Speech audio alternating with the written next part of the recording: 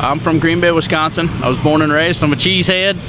So, if there's any Packer fans out there. A normal day here at the Blue Angels generally consists of uh, doing aircraft morning turns in the morning where we uh, start the aircraft up, make sure that the, uh, the engines and the systems on that aircraft work properly. So later on in the day, the pilots can jump in and they can do a flight demonstration up in the air. As soon as they land, we'll do any aircraft maintenance that may have occurred during that flight. And then as soon as that is complete, our day is pretty much done. For, for me growing up, especially when I got to high school and some seventh and eighth grade classes, we had woods and metals classes. That, that basically starts your basic knowledge on, on what we do here.